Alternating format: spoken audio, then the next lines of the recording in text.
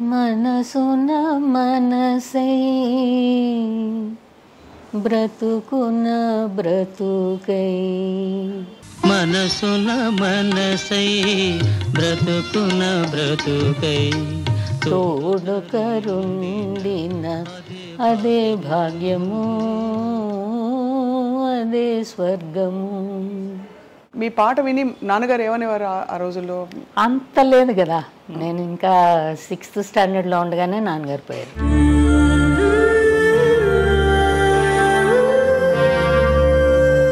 ఎప్పుడు పట్టుకున్నాను మీరే నా పేరు నిలబెట్టాలి అనేవాళ్ళు. ఎందుకనేవాళ్ళో తెలియదు ఆ టైంలో. ఎలా నిలబెడతామో ఏంటో అసలు నాకు ఇప్పటికీ అర్థం కాదు. ఎందుకు అలా అన్నారు అని. మీకు గుర్తున్న జ్ఞాపకం? నాన్నగారి బర్త్డే అయితే అందరినీ నీలో నన్నే నిలిపేవు నేడే చేసింది కల్పనవు ఏకవి భావనవు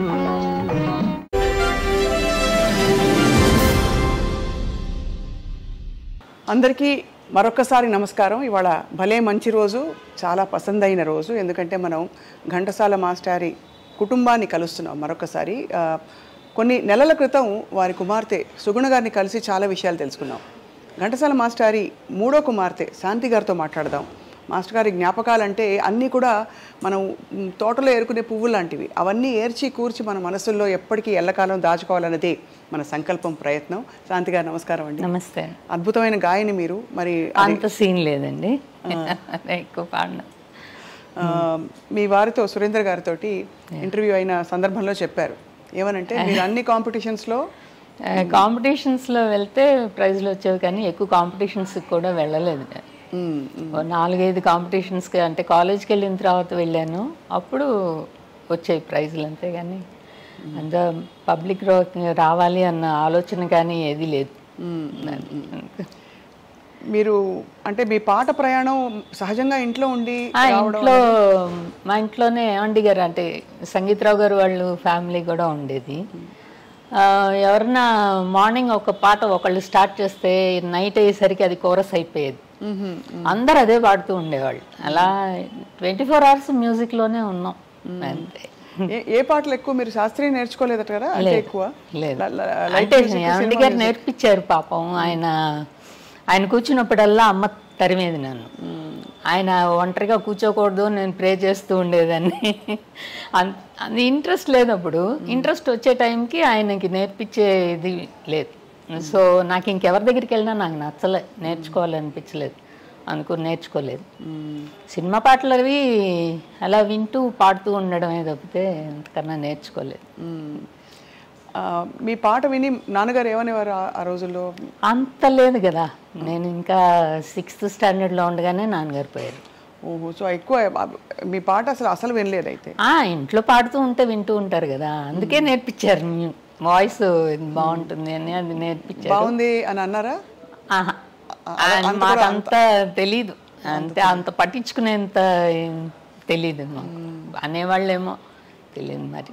అంటే నాన్నగారికి ఒక ఐడియా ఉండేది. పెద్దన్నయ్య ఏమో ఏమన్నా ఇన్స్ట్రుమెంటు చిన్నన్నయ్య వైలిన్ వాయించాలి. మా సుగుణ శ్యామలానేమో వీణ వాయిస్తే నేను పాడాలి. అది ఆయన కళ. అది నెరవేరలేదు. అంతే. అంటే బట్ అందరూ కొద్ది గొప్ప సంగీతం నేర్చుకుంటే పాడే వరకు సుగుణ శ్యామల బాగా వాయిస్తారు వీణ. వీణ చాలా బాగా వాయిస్తారు. మా చిన్నన్నయ్య వైలిన్ చాలా బాగా వాయిస్తాడు. మా పెద్దన్నయ్య వాయించని ఇన్స్ట్రుమెంట్ అంటూ లేదు. అన్ని ఇన్స్ట్రుమెంట్స్ వాయిస్తాడు. పాడతాడు బాగా. మా చిన్నన్నయ్య కూడా బాగా పాడతాడు. వాడి అన్ని ప్రోగ్రామ్స్ అన్ని కూడా చాలా చూసాం అది చా- మీ అన్నయ్యని ప్రోగ్రామ్స్లో చూసాం పెద్దన్నయ్య వాయిస్ కూడా చాలా బాగుంటుంది. తను మ్యూజిక్ విద్వాన్ మెడ్రాస్ యూనివర్సిటీలో ఇక్కడ చేసాడు అనుకుని నేను చిన్నదాన్ని కదా ఎంతసేపు ఆడుకోవడంలో ఉన్నాను కానీ నేర్చుకోవడంలో లేను. పరిగెట్టడమే. వాళ్ళ అమ్మగారి తొంభై మూడో పుట్టినరోజు. అమ్మ అంటుంది నాకు తొంభై నాలుగు వచ్చేసే అంటుంది. క్యాల్కులేట్ చేయాలి. మా సుగుణకైతే అవన్నీ గుర్తుంటాయి. నాకు గుర్తుండవు అని ఒక నాన్నగారి పాట ఏమన్నా ఒక పల్లవి మీ నోట వినొచ్చా?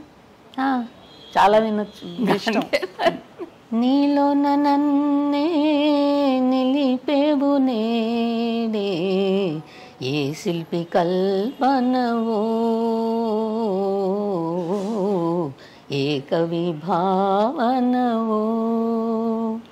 అసలు మ్యూజిక్ పాడడం అనేది ఆపేసి చాలా కాలం అయింది.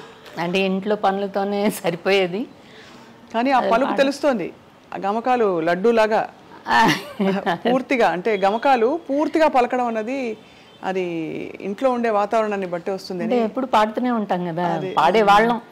పెళ్ళైన తర్వాత ఆగిపోయింది ఎందుకో మరి తెలియదు ఇంట్లో పనులకి పనులు చేసుకుంటూ కూడా పాడడం అనేది తగ్గిపోయింది. పిల్లలు పుట్టాక ఫుల్ ఇప్పుడు మన వాళ్ళు వచ్చేసారు అసలు పూర్తిగా స్టాప్ అయిపోయింది. పాడి కూడా ముప్పై నలభై సంవత్సరాలు అవుతుంది. వాయిస్ విప్పి పాడడం. మీరు అప్పుడు కాంపిటీషన్స్ లో పాడినప్పుడు మరి నాన్నగారు పాటలే పాడేవారా ఆ, లేదండి సుశీల గారి పాటలోను ఆ, లతా మంగేష్కర్ పాటలు పాడతాం ఓ అయితే ఒక్క లైన్ మా కోసం సుశీలమ్మ పాట కానీ లతాజీ పాట కానీ మీ ఇష్టం சுசில் గారిదైతే உன்னை ஒன்று கேட்பேன் உண்மை சொல்ல வேண்டும் என்னை பாட சொன்னால் என்ன பாட தோன்றும் என்ன பாட తోండ్రుం ఇది పాడాను. కాలేజీలోనేమో ఇప్పటికీ అడుగుతూ ఉంటారు ఆ పాట పాడమని. నన్ను ఎవరన్నా పాత వాళ్ళు కనిపిస్తే. బరసే రిం ఝిం రిం ఝిం పియా తోరే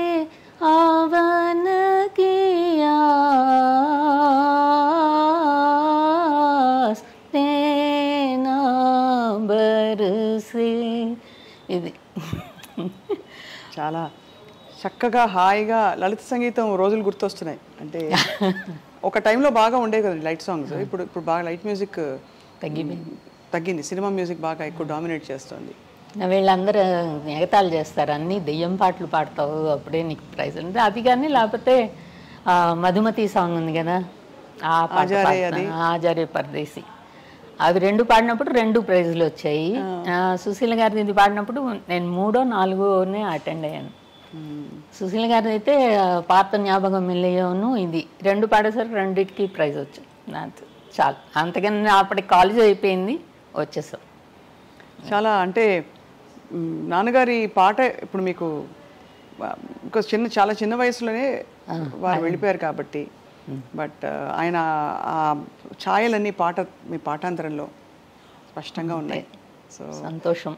సంతోషకరమైన రోజు ఇవాళ. మాకేమో బయట ఎక్కడన్నా పాడి తప్పుగా పాడేస్తే నాన్నగారి పేరు చెడిపోతుందని అది ఒక భయం. అందుకని ఎప్పుడు పాడను. ఏమన్నా తప్పులు వచ్చాయనుకోండి ఏంట్రా ఆయన కూతురు ఇలా పాడింది అంటారేమో అని అస్సలు పాడను. రోటరీలో పాడుతూ ఉంటాను. అంతే. అక్కడైతే అందరూ ఎవరు కన్ అంతగా కండుకోరు. హ్యాపీగా వదిలేస్తారు. చిన్న చిన్న తప్పులు వచ్చిన. మామూలుగా ఎవరి దగ్గర పాడాలంటే భయం. సో చివరగా అయితే నాన్నగారి గురించి మీరు. చిన్నపిల్లప్పుడే వారితో పెరగడం జరిగింది వారి వారి నీడలో. కాబట్టి మీకు గుర్తున్న జ్ఞాపకం ఒకటి. జ్ఞాపకం. అన్ని జ్ఞాపకాలేనండి. నాకు నాన్నగారిని ఇంతవరకు నేను అలా మర్చిపోయిందే లేదు. నాన్నగారి బర్త్డే అయితే అందరినీ బుహారీకి తీసుకెళ్ళేవాళ్ళు. అక్కడ అక్కడ కూడా అందరూ పూరీలే తినేవాళ్ళం. పూరి కానీ దోశ కానీ తినేవాళ్ళం. అక్కడ స్లాబ్గా కట్ చేసేవాళ్ళు ఐస్ క్రీమ్. అదొకటి కట్ చేసి ఆ ఐస్ క్రీమ్ తినడం అనేది అందరు ఆ ఒకటో డిసెంబర్ ఫస్ట్ వెళ్ళి తినడం అనేది అదొక పెద్ద ఏమనాలి పండగ అనమాట మాకు. అది తర్వాత నాన్నగారితో బీచ్కి వెళ్ళేవాళ్ళం ప్రతిసారి ఎప్పుడు బీ అటపా తడపా బీచ్కి వెళ్తూ ఉంటాము వెళ్ళినప్పుడల్లా మమ్మల్ని అక్కడ వదిలేసి మాలతయ్య వాళ్ళని అదే మాలతీ చందూరు వాళ్ళ ఇంటికి వెళ్ళి కూర్చునేవాళ్ళు అమ్మను నాన్నగారు. నాన్నగారు కనుక మాతోనే ఉంటే కుర్చీలో కూర్చుంటారు అమ్మ కింద కూర్చొని కాళ్ళు పడుతూ ఉంటుంది. ఆహా. అది. ఎప్పుడు పట్టుకున్నాను మీరే నా పేరు నిలబెట్టాలి అనేవాళ్ళు. ఎందుకనే వాళ్ళో తెలియదు ఆ టైంలో. ఎలా నిలబెడతామో ఏంటో అసలు నాకు ఇప్పటికీ అర్థం కాదు. ఎందుకు అలా అన్నారు అని.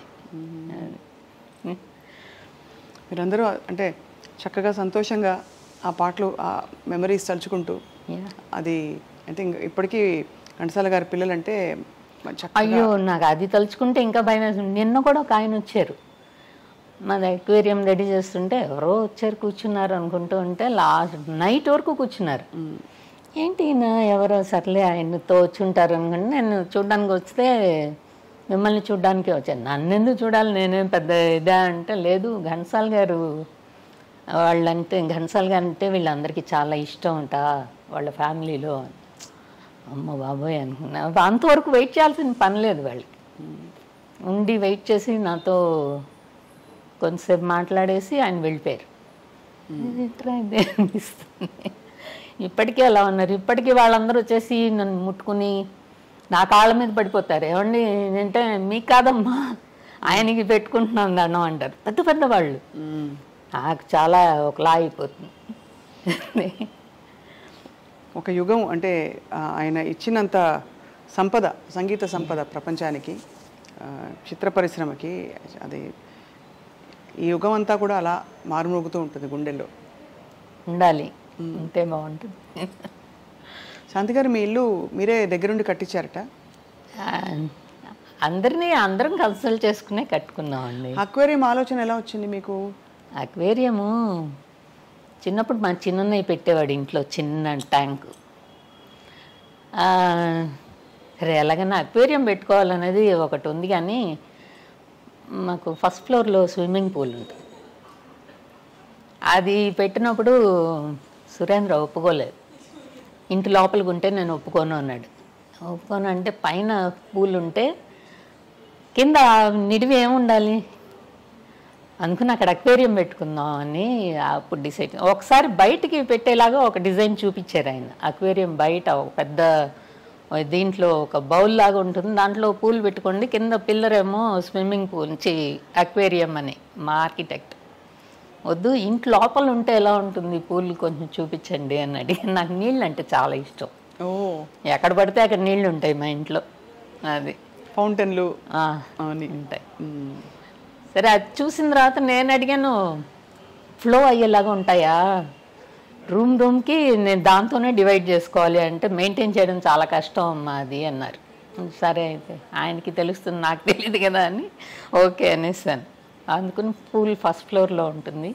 దాని కింద అంటే సురేంద్రకి అంటే లీక్ ఏమన్నా అయితే మిగిలిన రూమ్స్ డిస్టర్బ్ అవ్వకూడదు అన్నాడు. నువ్వు అలా డిజైన్ చేసుకుంటే నేను కట్టిస్తాను అన్నాడు. అది ఆలోచించి దాని కిందకి స్విమ్మింగ్ పూల్ వచ్చేది అక్వేరియం వచ్చేలాగా. అలా పెట్టారు. అంత నిడివిగా ఉంటుంది వరల్డ్స్ ఇండియాలోనే డొమెస్టిక్ ఏషియాలో ఏషియాలో. డొమెస్టిక్ అక్వేరియంస్లో బిగ్గెస్ట్ ఇది. బిగ్గెస్ట్ అన్నారు మాకు తెలీదు. నిన్ననే ఆయన వచ్చిన ఆయన చెప్పాడు. మీరు ముప్పై ఏళ్ళు అడ్జస్ట్ అయ్యి మీ మూడు three bedroom flat three bedrooms లేవండి టూ బెడ్రూమ్సే టూ బెడ్రూమ్ ఫ్లాట్ కలని పక్కన పెట్టి మీరు విడిగా ఒక ఇల్లు. లేదు అది తీసేస్తే మాది ఐదు బెడ్రూమ్సే చిన్న రూమే పైగా నాకు హాల్ పెద్దది కావాలి అంటాను. మా నాన్నగారు ఇంట్లో కచేరీలకి ముందర రిహార్సల్స్ చేసేవాళ్ళు. వాళ్ళు అందరూ కూర్చుని ఇన్స్ట్రుమెంట్స్ తోటి కూర్చుని వాళ్ళు రిహార్సల్స్ చేసేవాళ్ళు కదా. నాకు అది చూసి చూసి మా ఇంట్లో అన్ని హాల్సే ఏది రూమ్స్ లేవు. నాన్నగారి గది తప్పితే ఇంకో చిన్న గది అంతే తప్పితే అన్ని హాల్సే డైనింగ్ హాలు చిన్న హాలు పెద్ద హాలు ఇవే అనమాట నాకు అదే ఉండిపోయింది మైండ్లో నాకు ఏ రూమ్ చూసినా ఇది మంచి చిన్నదిగా ఉంది అంటూ ఉంటాను. అందుకని నీ ఇష్టం వచ్చినట్టు కట్టుకో అని చెప్పి వదిలేసాడు. అందుకని ఇంత పెద్ద హాల్ వచ్చింది. సూపర్. ఆ హాలు బెడ్రూమ్స్ అన్నీ కూడా ఒప్పుకోలేదు. చిన్న చిన్న బెడ్రూమ్స్ అంటే పెద్దగా ఉండాలి స్పేషియస్గా. ఇప్పుడు పర్వాలేదు ఇంకా పెద్ద అయిపోతే కష్టం నడవడం అంటాడు. అప్పుడు చూసుకుందానులే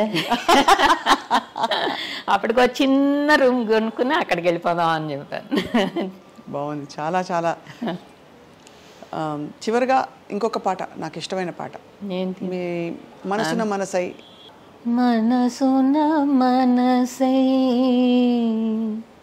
బ్రతుకున బ్రతుకై. మనసున మనసై. బ్రతుకున బ్రతుకై. తోడు కరుండిన అదే భాగ్యము. అదే స్వర్గము. అద్భుతంగా ఉందండి చాలా బాగుంది. ఇవాళ క్లుప్తంగా అయినా నాన్నగారి జ్ఞాపకాలు అలా రెండు మూడు పంచుకుంటూ ఇవాళ మా అమ్మ పుట్టినరోజు కదా. అనుకుని మీరు ఇంకొంచెం లేట్గా వస్తే భోజనాలు పెట్టి పంపించుంటాం. ఇప్పుడు వెయిట్ చేసి భోంచేసి వెళ్ళండి. శాంతి గారు థ్యాంక్ యూ వెరీ మచ్ అండి. థ్యాంక్స్ అండి.